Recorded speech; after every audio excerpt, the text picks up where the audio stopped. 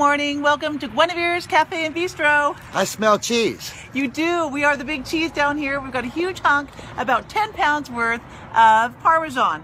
Man, Gluten-free Parmesan. I'll tell you what, man, that Parmesan cheese smells so good, and we're gonna grate it over top of your meals in that beautiful building back there in Dead Cat Look Alley. this gorgeous It's- building. It's Guinevere's Cafe and 1882. Bistro.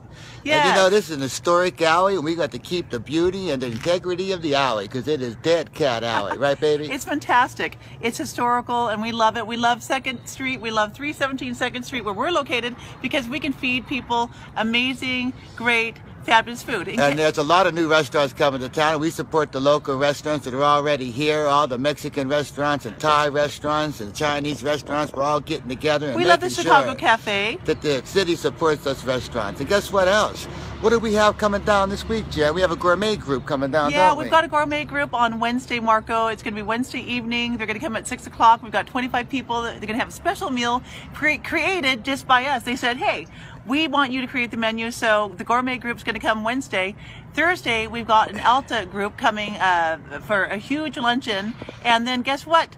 Tomorrow, Marco, we have um, a, a huge, huge 100 plus order for scones and cinnamon rolls for the YOLO Federal Credit Union. And They're Sunday. going to have a big opening. And this Sunday we're auditioning with Tina, and it's gonna be over the Bay Area, the Valley, and all the way to Sacramento. We're on TV again. And we'll be promoting Woodland, and then that next Wednesday we're gonna be on Good, Good Morning, Sa- Sacramento. and we're gonna be morning, taking food in there and talking about all things Woodland, and Yeah. about how our new city is gonna grow, and how the restaurants are gonna be the hottest farm to fork thing in the world. And you know what? We're leading that farm to fork Yeah, movement. thank you, Woodland. Thank you, Yolo County.